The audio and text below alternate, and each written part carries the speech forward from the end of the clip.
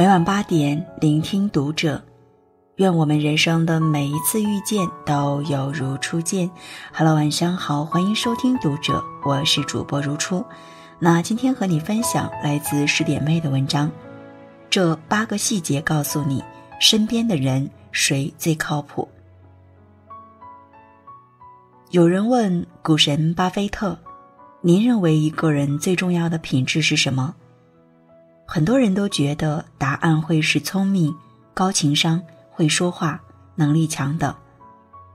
没想到巴菲特却意味深长地说：“靠谱是比聪明更重要的品质。”仔细想想，确实是这样。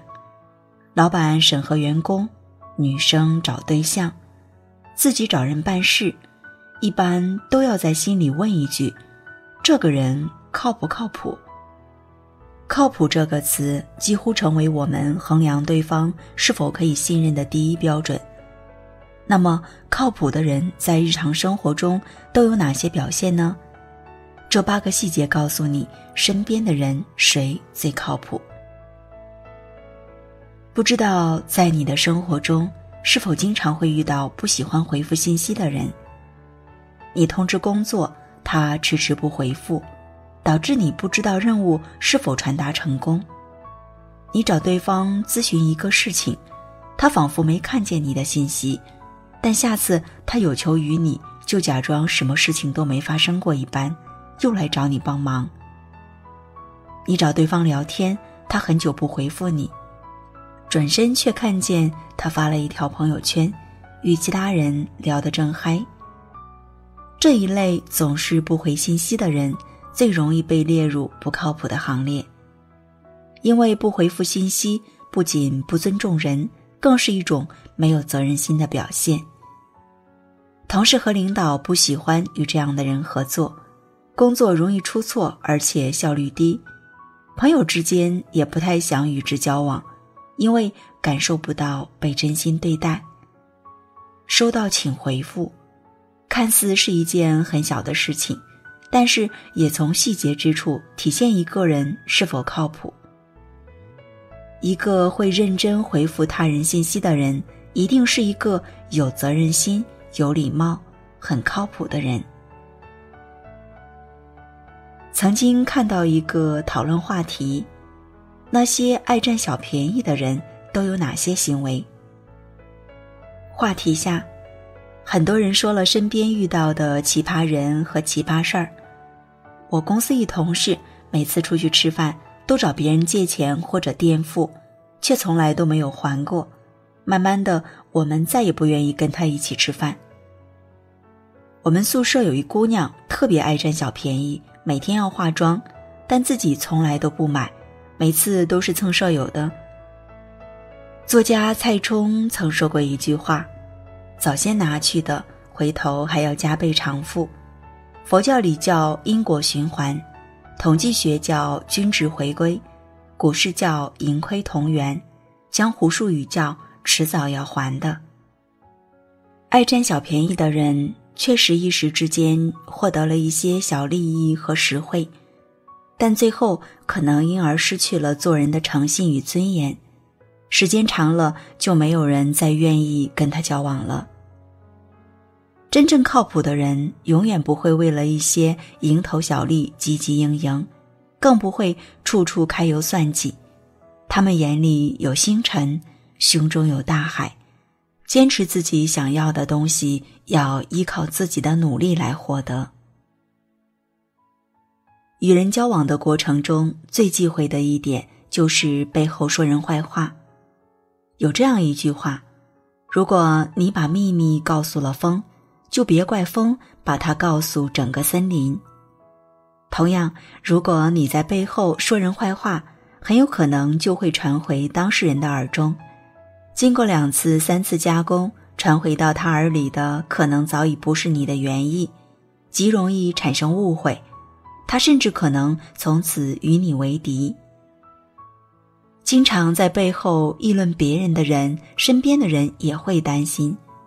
你会不会一转身就把他的事情四处宣扬开了？闲谈莫论是非，静坐常思己过。真正聪明的、靠谱的人，从不随意谈论别人的八卦，更不会在背后说别人的坏话，而是抬头仰望星空，低头暗自努力。不管是问身边的人，还是搜索知乎问答，问及什么样的人最靠谱，一定是守时守诺的人。约好几点钟见面，就别拖拖拉拉迟到，让别人等。答应哪一天完成某项工作，不管期间遇到了什么特殊情况，都不应该拖延。即使是通宵赶工，也要在约定时间内完成。不守时的人，耽误的不仅是自己的时间，更耽误了别人的时间和事情的进展，会让人感觉你对这件事的不重视，缺乏契约意识，随之把你列入不靠谱的行列。诺不轻许，故我不负人。做承诺之前，一定要考虑清楚是否能给出承诺。若不能，坦诚的解释原因，然后优雅的拒绝。如果答应了，无论过程有多困难，即便是会损害到自己的利益，也一定要兑现。小孩子都知道，答应的事情要拉勾勾去遵守。作为一个靠谱的成年人，更是要说到做到。孔子说：“君子欲讷于言而敏于行。”意思就是靠谱的人说话谨慎，行动敏捷。再换句话说，就是嘴上不吹嘘，踏实做好自己的事情。靠谱的人低调诚恳，从来不会吹嘘自己有多厉害。在他们看来，一就是一，二就是二，不会夸大自己的才能，脚踏实地的。诚诚恳恳的做好自己的事情，而喜好吹嘘的人，刚开始接触时，可能容易让人觉得他无所不能，对他有所好感。但几番接触下来，尤其是遇到实实在在的问题时，他的行为或者做事的效果，与他之前夸下的海口严重偏离。踏踏实实做人，实实在在做事，有多大的能力，说多大的事儿。这样的人才经得起时间的考验。情绪稳定不仅是一种高级的情商，更是一种靠谱的能力。在心理学家看来，人在愤怒的时候容易出现意识狭窄现象，会死盯着负面信息不放，无限放大。这也就意味着，当一个人的情绪不稳定时，就像一个负能量源，会给身边的人带来很多不好的影响。比如，一个情绪不稳定的人，在心情不好的时候，会习惯性耷拉着一张脸，甚至迁怒身边的人，搞得身边的人不敢正常交流。还有些人情绪不稳定的时候，满脑子想着不开心的事情，工作很难集中精力，不仅耽误自己，也影响整个团队的进程。每个人都会有心情不好的时候。但靠谱的人不会放任自己沉溺在或悲或怒的情绪里，而是会自己想办法消化负能量，以一种积极、饱满、向上的态度对待工作，面对身边的人。一个整日满面愁容的人，一个阳光温暖、笑不离口的人，一定是后者的人缘更好。我们部门曾经来了一位实习生，挺聪明的一位小姑娘。但却总喜欢推诿责任，因为刚进公司，对业务不是很熟练，所以常常犯些小错误。同事们发现了，便会指出。不曾想，小姑娘气性挺大，非但不愿意承认，还把锅甩给另一位实习生。这位实习生的结果，想必大家也猜得到了，被公司给辞退了。金无足赤，谁都免不了会犯错。但靠谱的人会第一时间承认自己的错误，并努力寻求解决方案，而不是遮遮掩掩，甚至甩锅给别人。真正内心勇敢的人，敢于承认自己的错误，错了就是错了，大大方方承认，从中吸取教训，并保证下一次不再犯就好了。越是遮遮掩掩，甚至把责任推脱到其他人的身上，是一种非常没品的不靠谱的行为。如果说守时重诺、少说多做、不占便宜、情绪稳定，是一个靠谱的人的软实力，那么能够处理一定复杂的事物，则是靠谱之人的硬核所在。否则，即便你态度再诚恳，姿态再谦逊，不能解决真正的问题的话，也没有人认为你是个靠谱的人。作为一个靠谱的成年人。不可能永远躲在父母的羽翼之下。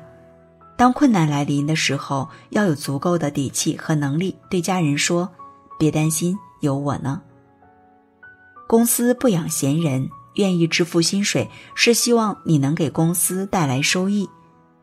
你有一定处理复杂事务的能力，公司才会信任你，才会愿意把重要的工作交给你。与他人搭配合作的时候，也不会因为能力太差而拖累同事、耽误工作。靠谱的人有能力、有担当，不拖别人的后腿，能完美的处理好自己的事情，与之相交省心又省力。经历的越多，越发现靠谱是对一个人最高级的评价。好了，那今晚的分享就这样吧。这里是读者，我是如初，我们下次节目再见。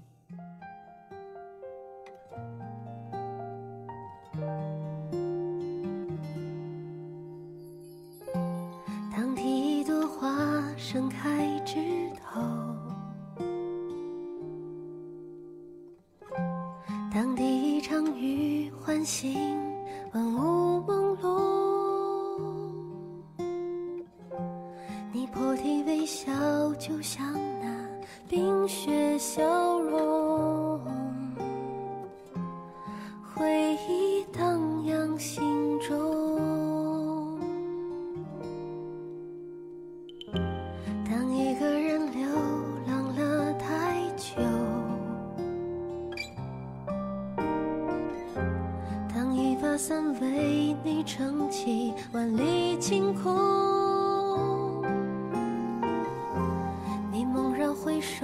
手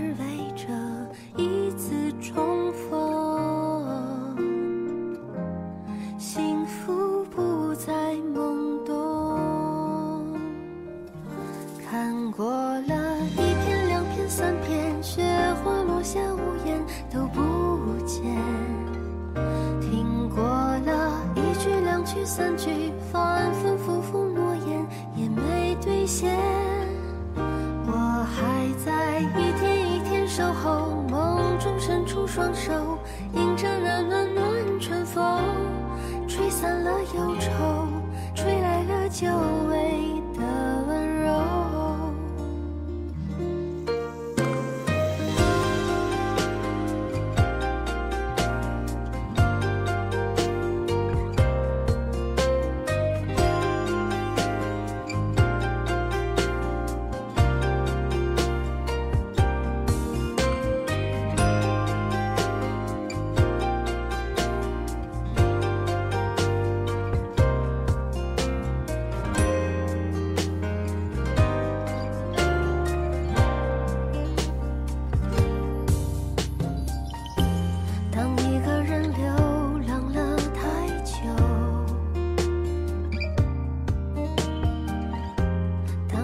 算为你撑起万里晴空。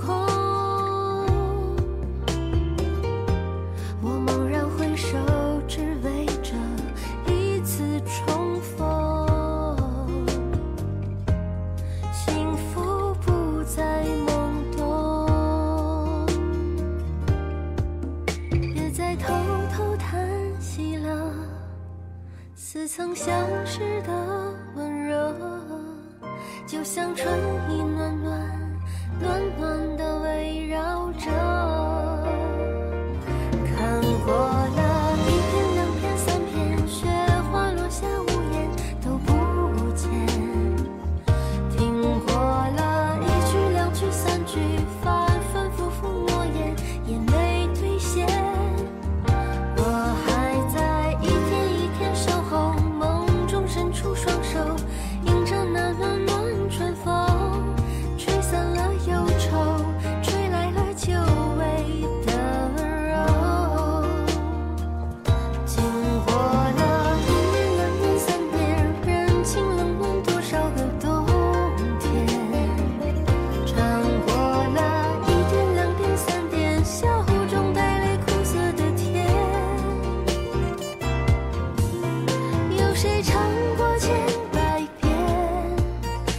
良